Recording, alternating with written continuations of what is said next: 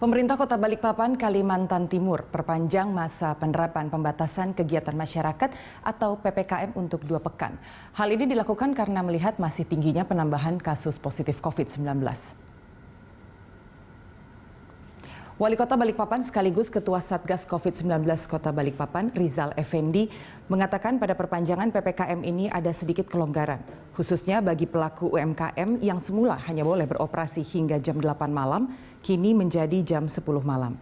Sementara sektor perkantoran dan pemukiman akan diperketat.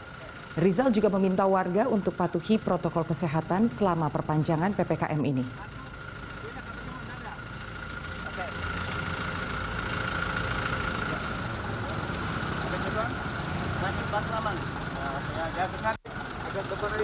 PPKM diperpanjang ya selama dua minggu dengan beberapa pelonggaran, tapi nanti lebih rinci akan kita umumkan kemudian karena ini belum selesai.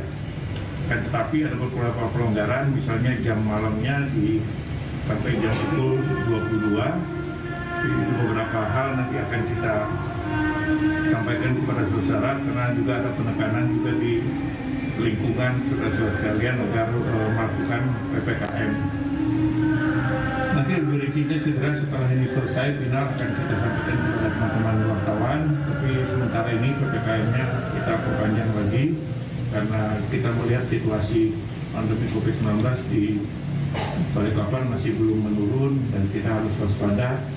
Ya dengan segala hormat saya mohon kepada masyarakat beberapa pelonggaran tapi PPKM-nya tetap akan dilakukan. Ya begitu karena kita uh, menjaga agar